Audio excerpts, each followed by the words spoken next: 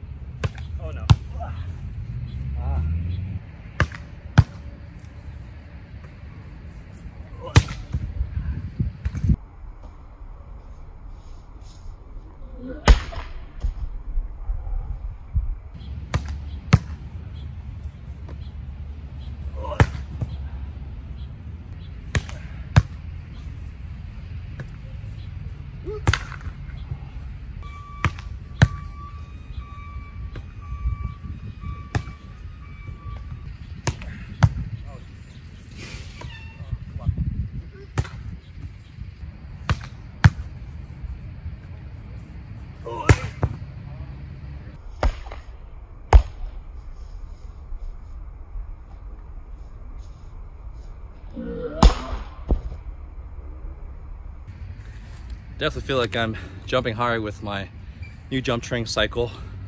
So if you guys have been following my channel, the first two and a half months, I did my three month training program, my bodyweight jump training program to get my vertical back up to speed without access to a gym. So if you guys want that program, it's in the description box. So hitting wise, I'm focusing on really still getting my arms all the way up and back to finish my jump, but also elevate my elbow versus abbreviating my upswing where I go here and I start to bring it back. So that lowers my vertical and, and it prevents me from really getting on top of the ball. So look for that. I, I was able to do that with the, the little bow peep volleyball tool. Now I gotta do it with hitting force.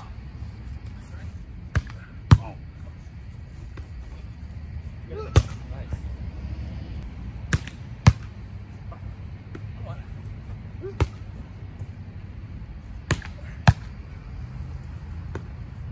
Get it?